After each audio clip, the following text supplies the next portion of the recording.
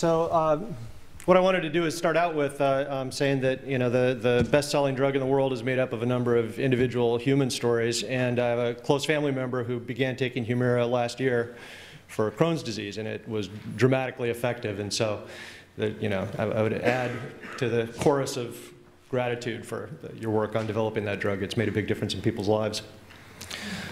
Um, last night, Ian and I were reminiscing about um, ghosts of IBC's past, and uh, there was always a session at the end of the meeting uh, titled something like alternative display formats. And after everybody had rushed off to catch their plane, you know, those of us who were doing, you know, amoeba display or bacterial display or slime mold display would talk to each other about our uh, menagerie of uh, curiosities.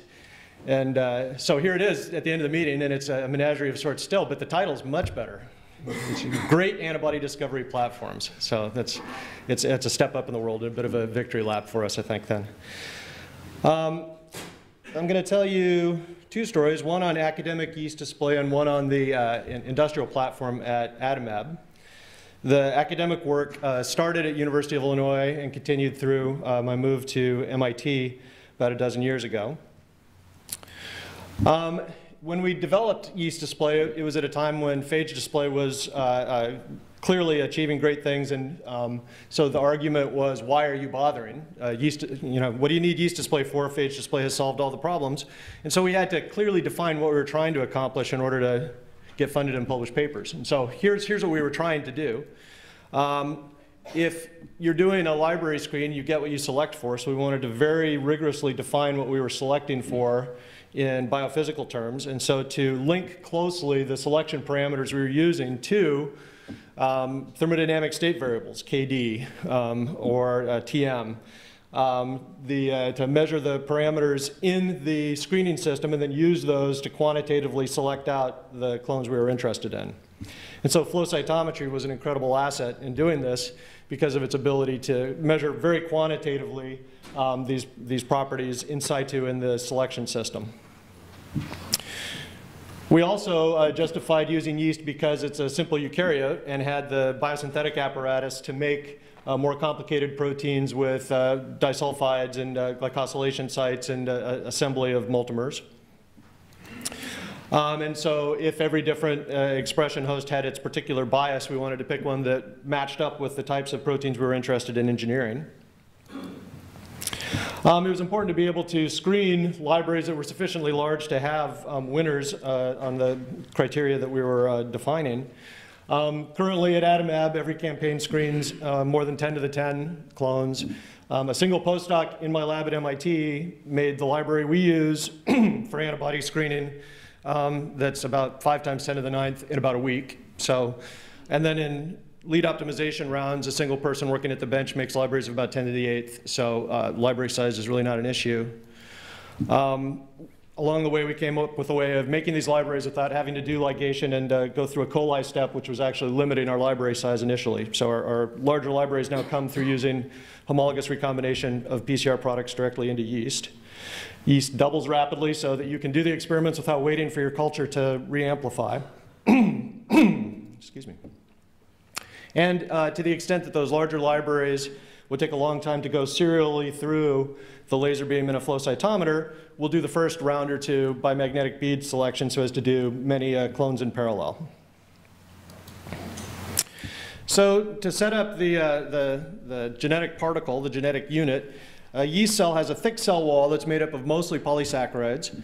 Um, at the surface of the yeast cell wall are proteins whose business it is to make contact with other proteins. And in particular, yeast comes in two mating types, A and alpha, and when they bump into each other, they stick through mating adhesion receptors. So yeast, through natural selection, figured out how to put these proteins out there exposed on the surface of the cell wall in such a way as to be able to contact other macromolecules.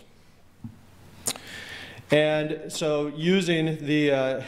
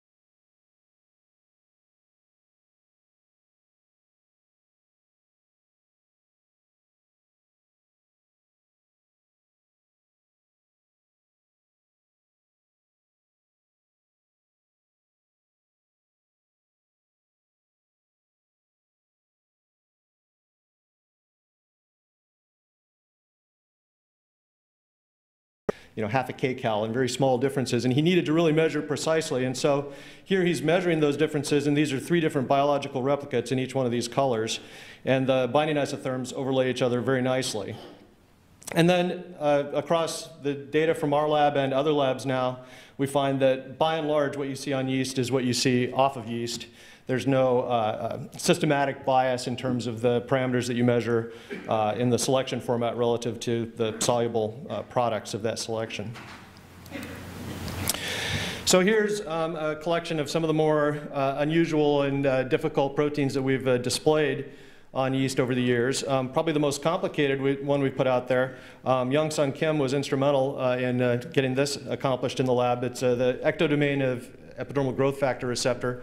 Uh, 620 some amino acids, um, 25 disulfides, a dozen N-link glycosylation sites. And having that displayed on the surface of yeast has allowed us to do epitope mapping, fine epitope mapping of where um, uh, antibodies and other binders bind on EGFR. But basically, um, you know, the, the, wide variety of different types of molecules are um, functional in that format. Um, and so then subsequently, there's been many different applications of yeast display in academics. Um, the, uh, uh, the, it, was, it was really gratifying to see the technology move on out of the lab and reach the point where people would talk about it without having to, to cite us. Uh, standing up here saying, well, here's Dane's yeast display. No, it was just yeast display. It was just what was done. Um, and so even at this meeting now, Andrew uh, Bradbury, Jim Marks, uh, uh, David Baker, um, David Liu has done a good bit. George Georgiou published a paper in PNAS using yeast display. Um, Dennis Burton did a very nice comparison of yeast and phage at one point.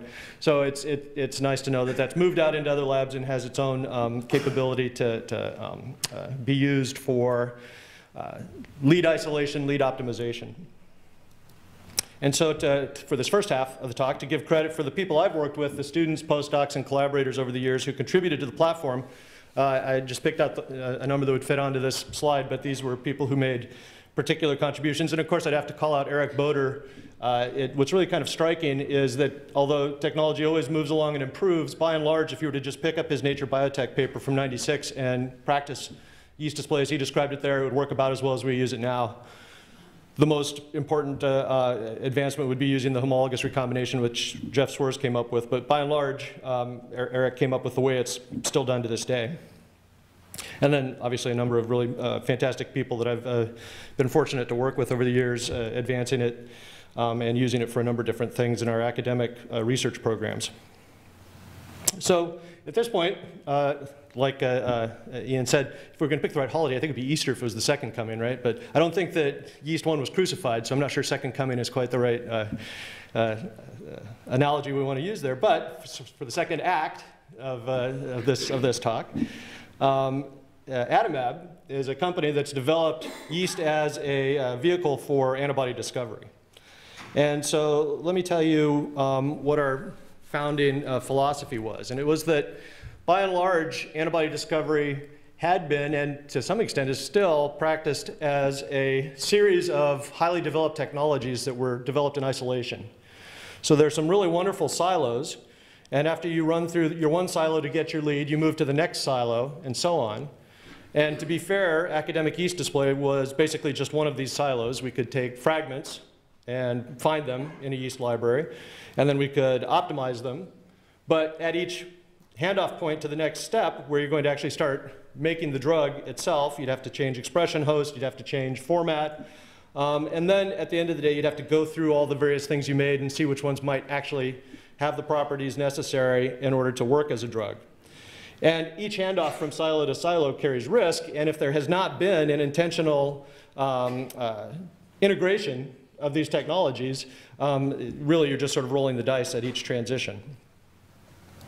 And so the, the founding vision that uh, Tilman and I uh, and uh, Eric Anderson had when we came together was the only thing really worth doing as a company was to start with an antigen and in one fell swoop, as quickly as you could, end up with a plate full of human IgG protein that could be assayed. That it was no good just to say, I've got a sequence of an scFv, there we go, good luck, off you go. And so the integration was really the objective throughout. And you know, as you're developing any technology, you have um, design choices you have to make. So we had uh, a small number of principles, and the, the mantra as we were developing the platform was more, better, faster. Um, if we were making choices, it was to increase uh, on each of these axes. So uh, Robert Mabry gave a nice talk yesterday from Adimab about um, uh, bispecifics, and so this is a, a truncated version of his, um, one of those slides showing just schematically uh, the, the workflow through the platform. In comes the antigen. Uh, we interrogate uh, greater than 10 to the 10th different um, human IgGs uh, presented on the surface of yeast using magnetic bead screening and then flow cytometry to do these fine discriminations. After about a week or two, you have those um, uh, uh, leads that look interesting by flow. And then by a simple change in growth media, and just preemptively, Andrew, I'm not going to tell you how we do it. That's secret sauce, just save you getting up to ask me that question right now. We then get soluble expression of IgG, um, and the, the true average number of IgGs expressed uh, in, in, the high throughput expression shop right now is in the thousands. Uh, each prep yields a few hundred micrograms of um, protein, which after an analytical uh, package is put together, delivered to the partner, um, after their bioassays and testing, it can come back and go through multiple cycles of optimization of uh, binding parameters, specificity, um, and drug-like properties. And that whole cycle time uh, is on the order of about a month. Um, this is just a, a, a cross-section of delivered, um, actual delivered panels of antibodies to partners. Um, the, the median affinity is sim similar to most platforms, uh, single-digit nanomolar on the order of about 70 antibodies delivered per um, uh, campaign. The epitopic coverage is broad, um, and we always uh, bin these to, to look at cross-blocking epitopes, um, averaging about seven per target. Um, one of the uh, campaigns we were particularly proud of, there was a small peptide, and we had three non-overlapping um, binders to that small peptide. Um, so the, the, the idea is that although broad epitopic coverage is, is uh, um, certainly useful for trying to discover new biology. It is important to actually have um, uh, some mechanism for uh, uh selecting those and then a rapid way of confirming what your uh, coverage is. There's an interesting um, biophysical property here which you can see which is there are phenomenologically such things as hot epitopes. And so we've now developed a normalization procedure to try and improve representation of the more rare epitopes. So uh, my good friend George Georgiou yesterday uh, made the comment that he didn't like the word developability, and so I immediately opened my computer and did a Google search. And there are 38,000 hits on the terms developability and antibody, and I thought, well, that can't be right. This must be, you know, real estate sites or something. And if you page through the first uh, 30 pages, they really are antibodies and developability. So as awkward as the word is and however many syllables it has, it does describe something that people care about, and they are using these two terms in juxtaposition. And the reason why is because really there are necessary criteria to have a drug that are not anywhere near sufficient, but they're certainly necessary, which is you need to be able to make it. You need to be able to make it in a host that is uh, appropriate for GMP manufacture. Once you've made it, it's going to have to stay in solution. Uh, so fluffy stuff floating on the bottom uh, or on the top of the tube not going to do you any good. And once you've made it and it's in solution, if it sticks to everything in sight, it's not going to be useful either. So uh, these may seem like um, simple criteria, but um, if you're not in the sweet spot of this um, Venn diagram here, uh, the, the, the, campaign is over. Um, and so people don't make a habit of publishing negative results, um, and yet nevertheless, um, some people have made some comments over the years. and so here was one uh, commenting, some of uh, his own experience at Merck, Dave Meininger, um, in a presentation talking about some of the issues they had with some of the antibodies not having um, uh, developability properties that were um, sufficient. Out of uh, Centocor, uh, Karen O'Neill um, had published a couple of papers using a tool called uh, cross-interaction chromatography to try and predict which antibodies will not um, interact with each other and have strong um, self-interaction driving uh, aggregation. And uh, in that work went ahead and pointed out that this tool was necessary in order to screen through um, antibodies that had been derived from their uh, phage collaborations that were not behaving well. And then Peter Schultz in his PNAS paper this year, where he was noticing that um, the lead optimization that uh, a vertebrate immune system performs seems to improve uh, thermostability. And so he uh, um, commented that maybe This is actually part of the, um, uh, uh, the criterion, the objective function for the directed evolution in the immune system is not only for binding, but for good biophysical characteristics. So those are comments of others. Um, there's another way uh, to, to, maybe try and get a, a, a snapshot of how um, uh, big this problem might be. And this is the, from the TABS database, which uh, if you haven't used it, it's really a, a phenomenal resource for just getting a, a, broad objective overview of the field. And they um, annotate all the different antibodies in their database according to the method of discovery. And what was uh, frankly shocking to me was to find the extent to which clinically developed antibodies to this day are not coming from the modern display technologies, that they're, for the most part, arising from the mouse immune system. And you can dig into that data a little bit deeper and look at the number of antibodies listed in that database that are at a preclinical stage or each of the various different um, stages of uh, clinical trials. And although this is an instantaneous snapshot, not a longitudinal data set, it gives you an impression of how those numbers decrease as you march through the different stages. And so, for example, if you look at um, uh, mouse antibodies that have been humanized, clearly there are fewer and fewer as you move from preclinical through to approved. The transgenic mouse antibodies have a far um, a, a less steep slope, so that um, is certainly encouraging that of ideas that initiate here, the probability of ending up here seems to be greater. But of those antibodies in this database, there's a, a good bit steeper slope going from initial concept through to approved antibody. And again, this is not my data. This is a public uh, uh, data set, and um, welcome you all to take a look at that data yourselves. So part of the question then would be, you know, I, I believe that biophysics and biochemistry happen inside of animals. So what is it that is going on inside of uh, people and mice that generates these antibodies that have good drug-like properties? And how can we recapitulate that in an in vitro system? Um, there have been those who will quite vehemently say in vitro systems will not have the capability of generating uh, antibodies with good drug-like properties. And, and I, I, think the only way you can counter that is uh, by example. It's an argument that's best settled empirically with data. But heading into it, I would say uh, it's not impossible to attribute some of these differences to particular sources. One is the germline sequences in the vertebrate immune systems were evolved, at least in part, for drug-like properties, the ability to be expressed, be soluble, and not stick to everything. Um, subsequently, B cells do perform a quality control step to ensure that not only just non-frame shifted, but also foldable and well-behaved um, proteins are expressed. And then if they're not, or if they turn out to be sticky, the immune system has ways of fixing it with receptor editing, which is basically nature's light chain shuffling and ways of testing for that self-reactivity. So if one's going to have a in vitro platform to try and steer through this same path, this same obstacle course, it would be good, first of all, to try and closely mimic those germline sequences and the uh, recombined repertoire prior to selection.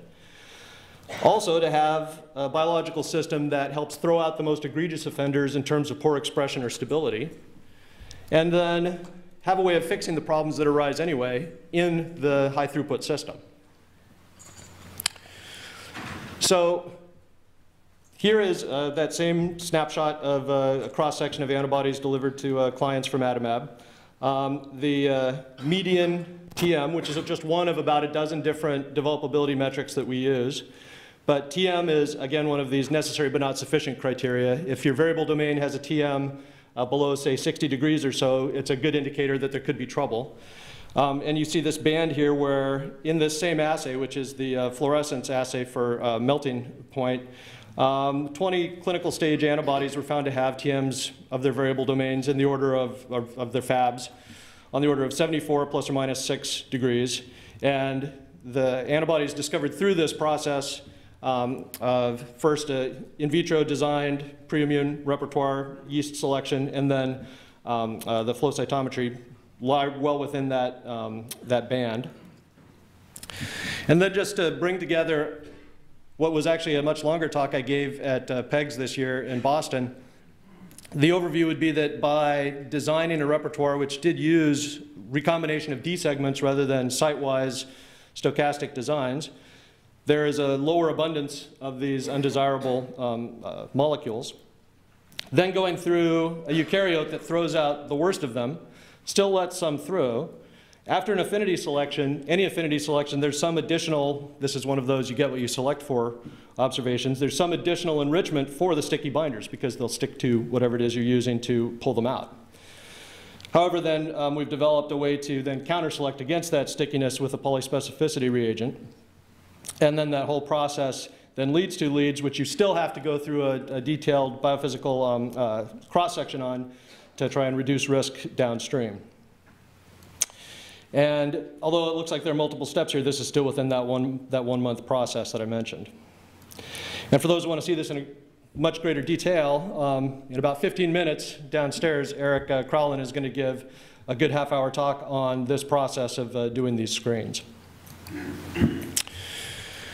So it's been a good year for Adimab in terms of uh, moving our technology into the hands of partners. Um, we had done a large number, I think on the order of 25 or 30 uh, drug discovery campaigns with um, partners, one or two targets at a time. But just this year, we were uh, really pleased to uh, consummate uh, platform transfers to Glaxo and to Biogen Idec and to Novo Nordisk. And GSK and Biogen Idec are now fully enabled. And um, it's uh, very gratifying to, to, think of the drugs that will be uh, coming from that platform uh, going into the future. Um, it's uh, important to give credit here. Here we are looking very pensively at uh, something. I, I, really wish I knew what was on the screen that we were looking at there. But um, my co-founders, Tillman, who is uh, now CEO, and Eric Anderson, who is now COO of the company, um, who we've seen this through from beginning to the present. And it's been incredibly gratifying, and they've been fantastic partners.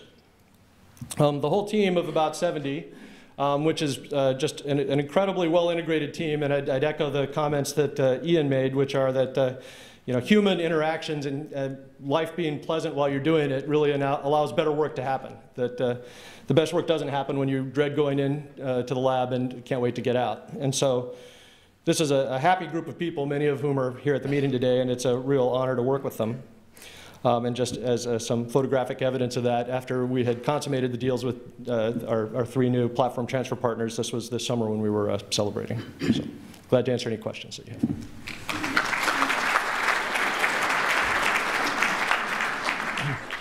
Okay, Tate. Um, I love that photo of you, you, the three of you there. It looks like you're on one of those chairs that's gone like, like that. You're like leaning back. That's on my way back. It's kind of a bit weird. You're, you're way too laid back. Um, and, right, so following that phage bashing talk, has anyone got any? Uh, any I would point out that I started out by thanking Phage for saving my family member. I, so. you I, couldn't, I, couldn't, I couldn't, couldn't help myself. Right, questions from the floor to Dane. Well, it's uh, Jane.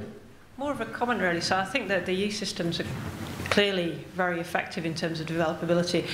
Uh, I'm not quite sure how the comparators work. Uh, from, from our experience now of looking at the phage systems, I think in the early days we did have significant developability problems because we were very focused on going for affinity and potency.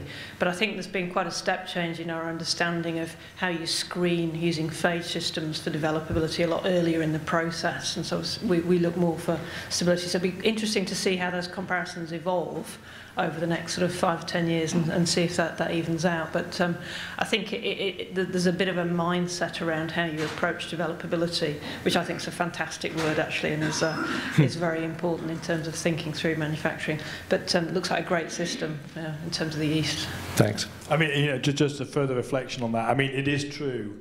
We were all absolutely obsessed with affinity right? It was affinity, affinity, and everything else could go hang until you then realize you had a problem. So I think, I think in general the mindset has, has shifted. I don't imagine there's a single phage display company out there now that hasn't got this front and center of their uh, of yeah their well the, there's the saying what you manage what you measure and so everybody's measuring this now so I, I have no doubt that there are many solutions that are in development yeah Okay. Uh, great talk. Uh, I'm curious. Can you have your name, please? Oh, uh, this is Han Jun. I'm from Biot uh, um, Biotechnology uh, in Bay Area. So I'm curious that uh, on average, how many molecules can be displaced on, from each yeast? Um, and do you have a technology actually normalize expression for all kinds of uh, targets. So uh, if I understand correctly, basically you're, you're wanting to hear a bit more about how we put more complicated molecules on the surface. Yeah, a- and how do, do you control the numbers and, uh, and uh, Well, the answer in terms of how we control is that we don't, by and large. We just have a strong promoter that drives high-level uh, transcription, and then um, uh, we get what we get on the cell surface, which it turns out is a selectable parameter. This is something that working with Dave Kranz and Shelly Kiki um, and Eric Schuster back at Illinois, we found that uh, you can do directed evolution on the ability to do directed evolution. So you start out with single-chain T-cell receptors that did not express at all, and we were stymied.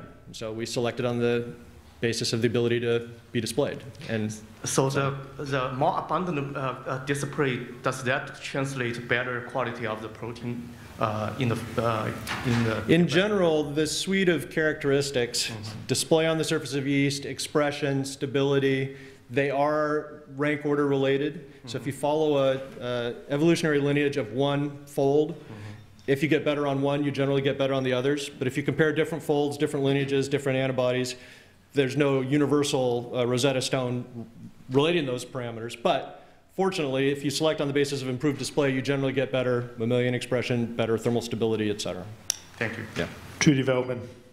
Uh, Dane, so very nice um, uh, work and, and very fast uh, to generate uh, the, these antibodies. So you've been working now for, for a few years with a number of companies, and I was just wondering, are there already uh, any of the antibodies in the clinical testing, and what is the phase? And uh, you know, can you give an example of some that we can just have a look? Well, what's public, eye out? what's public is that Merrimack has taken a cocktail of three non-overlapping anti-EGFR antibodies we discovered into phase one clinical trials. Okay. Um, Obviously, I'm not empowered to disclose anything about that data, but uh, it is the case that that particular campaign was reviving one that failed when it was attempted in phage for DLP reasons.